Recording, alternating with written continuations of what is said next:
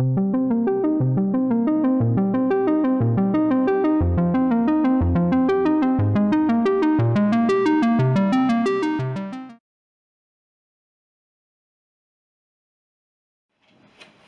guys, welcome back to Stranger Times. Glad you can join me. So today's video is a little bit about USS Nimitz um, with the Tic Tac UFO footage um, and basically where we go from that. What does it mean? So from what you know about aerodynamics, mechanics, physics, uh, should this be possible, what you saw? Not with the technology that we have today. Not, not at all. Even now, even 13 years later, is there anything that you know of capable of this kind of behavior? No, there's nothing I know of. I mean, this when you look when we saw the, the video with the IR, it has no exhaust. Uh, it you know no no discernible things of anything form of propulsion, and this thing came from a dead hover over the water, just kind of moving around to a climb up to about 12,000 feet to rapidly accelerating away in a climb, and in less than two seconds it was gone. Good. So bottom line, what do you think this was? I believe, as do the other folks that were on the flight that we when we visually saw it, that it was something not from this world. Do you think that the Congress and our leaders should actually take this seriously and try to find an answer? Absolutely, because it puts everybody at risk. It puts our military at risk, it puts our people at risk, our, our homeland at risk. If there are things that just are far superior to us, to our capabilities. This is all off Virginia, by the way. It's the Vacapes. So there's whiskey areas out there too. That's where NAS Oceana goes out and trains. They've tracked them at, at just sitting there. They've tracked them at high rates of speed. They've been tracked lots. The radars they're using now are even better than the ones that I had uh, in the Super Hornet. It's pretty amazing. More advanced technology, you know, cooler stuff, more capable. They're seeing it. At first, they thought they were when they first saw it. They thought, oh, these are just ghost hits, and I'm like, no, that radar really doesn't provide ghost hits, which are false targets. It's pretty good. And then someone actually threw their targeting pod out there, and there was something there because you can't hide from the targeting pod if you've got any type of heat signature. And that's what really started this. But they've been seen by many people as far as on the radar. And there's been a couple that have seen visual because one guy almost hit one. It was just sitting there. This is recent. This is real recent. This is within the last five years. Did they describe these things as conventional aircraft? How did they describe these things they almost hit, Dave? They describe it as well. The one that almost got hit was like a, a clear beach ball sphere with a cube inside. So the little apexes of each corner hit the cube. So I don't know if it's like a, you know, is it a beach ball or is it like a force field? I don't know. There's something around it. Um, they never, they never. This is this is kind of what's prompting. I think they're getting heat from other avenues of the government because of what happened with our incident. That you know, hindsight being 2020, which is how I live my life. Um, yeah, uh, probably should have done something about it. Uh, you know, maybe put a little effort into this. If not to go figure out what can come in and penetrate a battle group like that, but God, just what if we what if we can harness that technology? So, 14th of November 2004 should have been the day that changed history, but it didn't. Four pilots who were on training exercise over the Pacific Ocean, just off the coast of the United States, were being buzzed and played by UFOs. In total, around about six pilots saw these UFOs zipping around their airspace at unbelievable speeds and even more unbelievable manoeuvres. Far more advanced than anything our military has or even private engineering has. But this incident didn't start here on the 14th of November, it started two weeks earlier, with reports from radar crew on various vessels that they were seeing these craft in the airspace above the training area in the Pacific Ocean, with as many as 25 craft being observed by the radar crew. We cannot find much about what the military did at this point. The best that we can get is that they were just observing these craft in the high skies of the Pacific. Then two weeks later, the pilots had a visual encounter and also a near collision with one of these Tic Tac UFOs. They could see every detail on these craft, seeing how at the speeds and the manoeuvres that, that these craft were performing. These pilots and ship radar crew, plus the air control units and other ships in the convoy from the USS Nimitz and the Princeton, they saw what they saw. These men and women are the best of the best. Now, a lot of people I speak to about this encounter and other encounters believe that the pilots and the ship crew and the police officers and the lawyers and the doctors and presidents are all a little bit mad, have, you know, hallucinations, are optical illusions, okay? That's a load of rubbish. It really, really is. People tell me that Bob Lazar has been proved fake uh, for his accounts, but he but he never stepped foot anywhere near Area 51. But he must be a bit mad or insane to make this stuff up, right? What are these people scared of? Seriously, what are they scared of? Mean, just open open their minds just a tiny little bit. Yeah, the evidence is out there. There's far, far more evidence to say that these things exist than not. Okay? Look at all the ancient texts, all the flipping ancient civilizations and, and their texts and their cave paintings and uh, you know the megalithic stonework and stuff that went on. But anyway, um, now we have the Pentagon releasing the UFO footage as real UFO contact. Maybe it's time to rethink what everyone thinks. What an illusion is. Or you know people being a bit mad and crazy which they're not. They're normal people. Highly highly trained experienced aviators and and people to you know trained with their eyes to observe stuff you know Roswell Area 51 the Dalt Patterson Air Base all said to have held craft or beings at one time or another. So these pilots and ship crew, the top guns of our planet, the best of our planet, can they all be wrong? No, they're not. This includes myself and other military personnel I've worked with, including British RAF pilots who have been stationed in some of the bases I've just listed.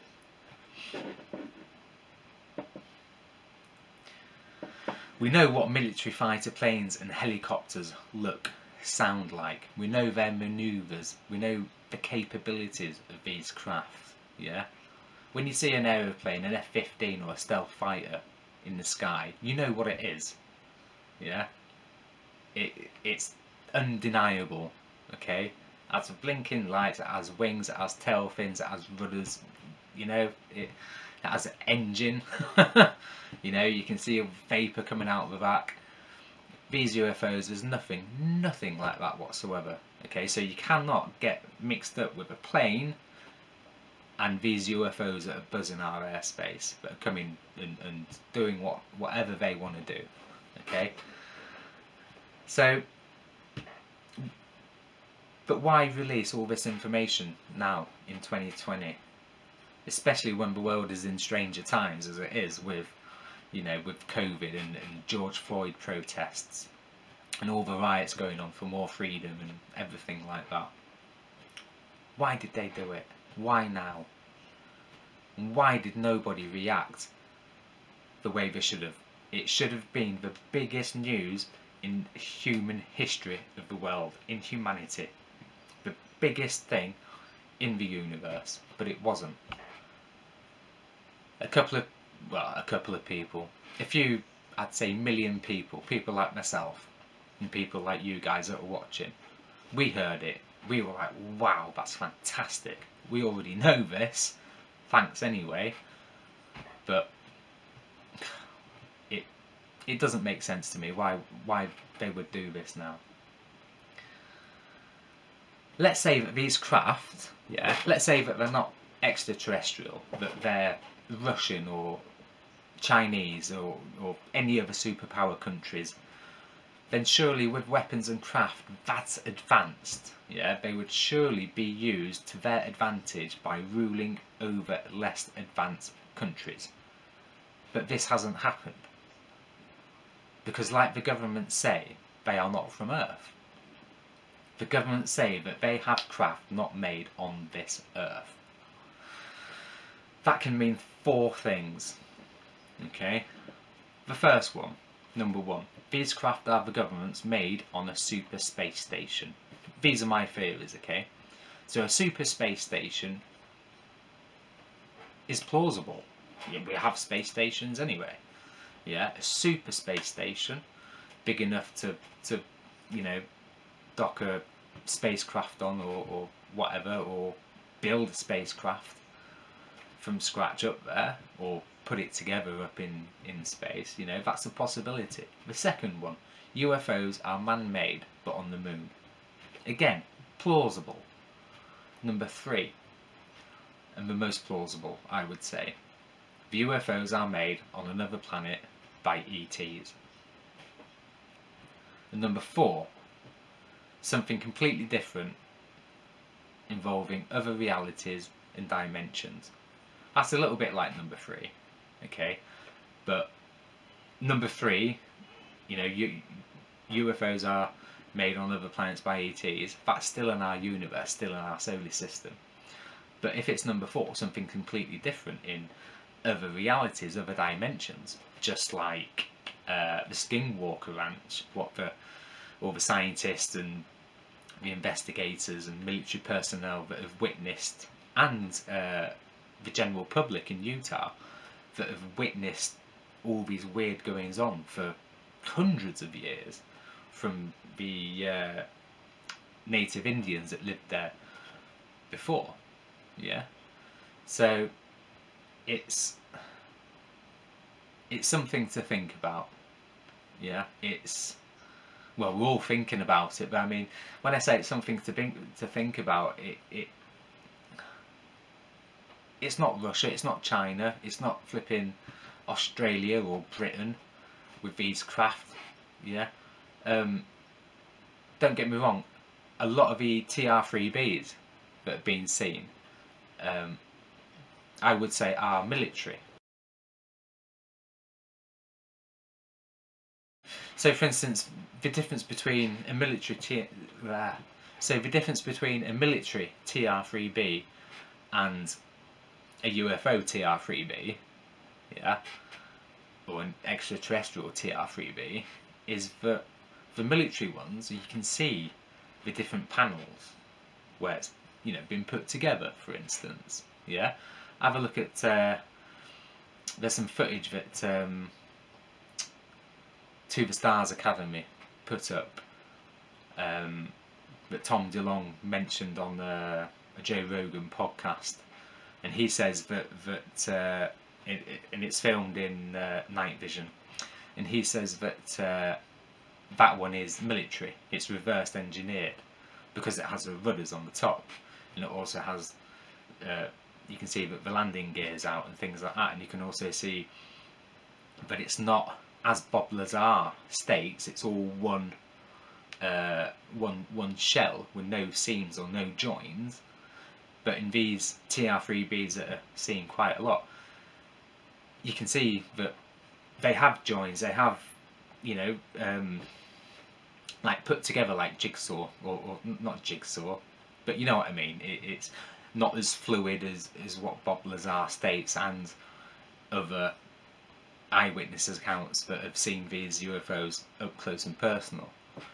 So something big's coming, something big's happening, as we all know, because the world's just gone into absolute chaos at the moment, and no one's batted an eyelid that we have these UFOs coming from, you know, outer space or from the heavens, from the skies, whatever you want to say. They are here, they are coming, they're zipping around our airspace, and there's nothing that our military, our air forces can do about it whatsoever. So, after that guys, this is the end of the video. Um, I'm going to leave it here because I'm, I'm I've just end up ranting on for ages and ages and um, you guys probably don't want that. but uh, yeah, we've all seen the footage of uh, of what I've just put on from the pilots and uh, the radar crew. So let me know what you guys think about all this, about uh, the UFOs, where they come from. If if they are man-made, where would they be made, and why hasn't you know, the country or the superpower made them, why haven't they used them to their advantage? You know, we've been seeing these things for, for millennia flying over our skies, uh, flying over our heads. Always happened. It has always happened. So things are starting to get moving now by the governments and by uh, the Stars Academy with Tom DeLonge.